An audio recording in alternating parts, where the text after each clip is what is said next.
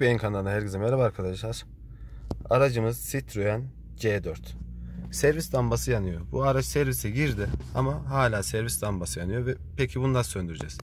Hemen gösterelim. Telefonu bir sabitlemem lazım. Evet arkadaşlar. Servis e, düğmesi var şurada gördüğünüz gibi. Kontak bir diş açılıyken servis lambasına basılı tutuyoruz ve kontağı açıyoruz arkadaşlar. Bakın 10, 9, 8 diye orada sayımız var. Sıfır olduğunda servis lambamız sönmüş olacak. İzlediğiniz için teşekkür ederim. YouTube kanalım Grafik Beyin'e abone olmayı unutmayın arkadaşlar. Kendinize iyi bakın. Sağlıcakla kalın. Hoşçakalın.